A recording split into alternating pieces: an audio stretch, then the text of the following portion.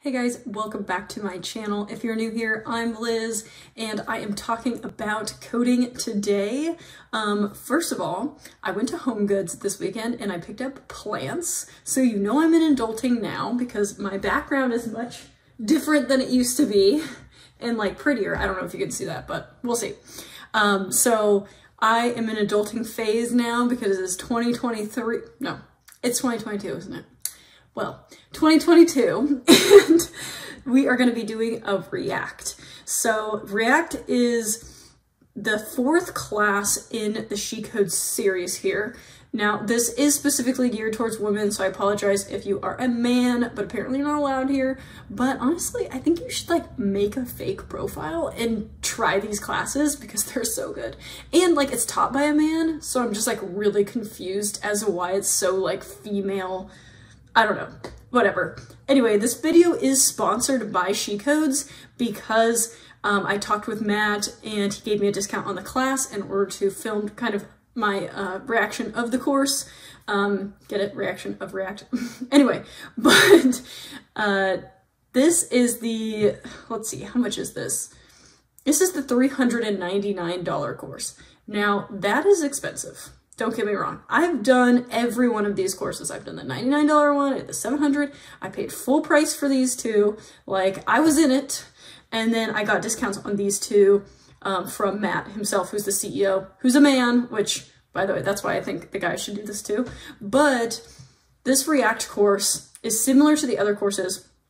It's slightly longer than the responsive, which I just got done with, which I'll link below. I'll link below all my reviews of the previous courses, but um, React is basically what I've heard is that it was made by Facebook and it's supposed to make JavaScript easier. Kind of like how Bootstrap is for CSS and HTML, React is for JavaScript. So that is what I've heard so far.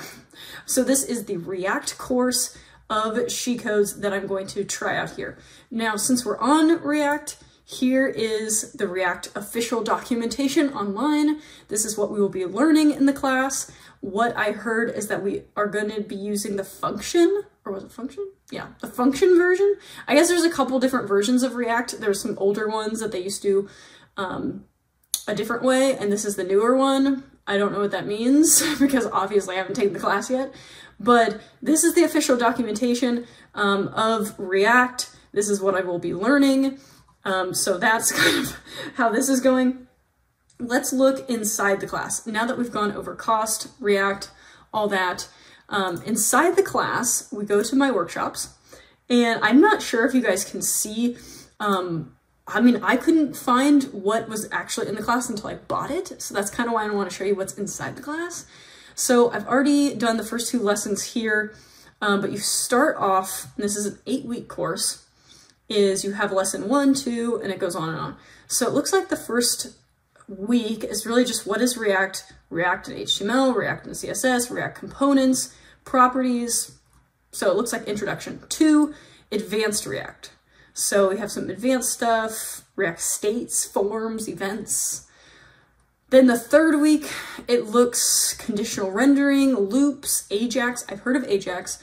Um, it sounds like an API something, something API, potentially. So I'm just kind of guessing, prompt, preparing myself, as you will. And then we have terminal, create React app, debugging. I don't know what MP, NPM means, React hosting, which I'm assuming we're going to be using Netlify as we did with the other projects. And then it looks like there's a weather project and then um, a more official weather project. Oh, wait, there's more. And a dictionary search? Okay, we're going to be doing a lot apparently. Oh, there's more dictionary. Okay, so there's a lot happening. So it looks like there's some sort of dictionary project and a weather app project, which we did in She Codes Plus. So it seems like we're just going to add some React to it, whatever that means. Maybe make the code a little more simpler. Um, but overall, that is what is in this course. But I'm super excited to try it. Um, and how I'm sticking to this is I actually have a tracker here, which I will link below. I did a video on how I was planning on doing my own semester. I am working full time, so I'm doing the eight week class which is five hours of coding a week. So I have um, some goals here. This is like my own semester. This is nothing official, this is just what I decided to track my goals this year, is to do kind of more fun way. These are the books I'm gonna read. And then here I am on Monday. Um, this is the first day that I'm signing up. And as you can see, I have re the React course blocked out for each one of these days. So I am committed. I am gonna be done on week 10 and I will have finished the React course. So today I'll put a check mark once I feel like I'm done with today, and then I will just keep kind of tracking it like that. So that's how I'm gonna keep myself accountable, and I also put when the homework is due on the following Mondays. So each week you have homework, so this is week one, and then I will have week one homework due on January 10th. And so that is how I'm kind of keeping myself accountable is just doing a couple classes a day. So I'll probably do this one and this one.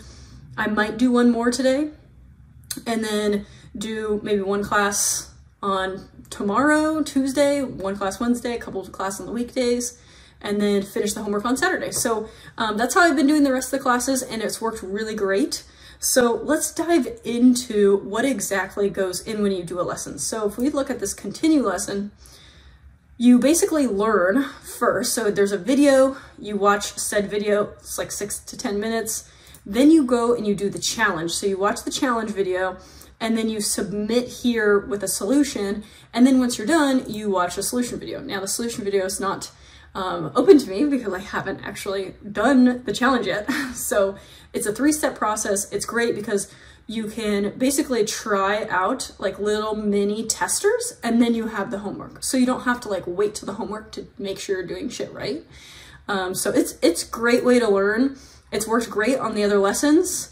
And what you can do after is you can get this React certificate and link it to your LinkedIn. So I'll put my LinkedIn below and you can kind of see how that looks like for my previous classes. So I'm super excited for that.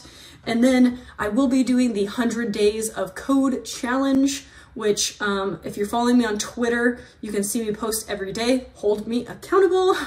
Um, so if you want to do the 100 day 100 Days of Code challenge with me. I might do a video on it, um, but I'm starting it today. And so you can follow me on my Twitter. I'll link it below and you can kind of check out and follow with me or do it with me. So uh, options there. So I look forward to seeing you guys um, tweet at me on Twitter and comment below if you have any questions about She Codes and my journey because this is the last class of She Codes. I will be officially done with the whole program unless he comes out with more classes, which is possible. So I will see you guys next time.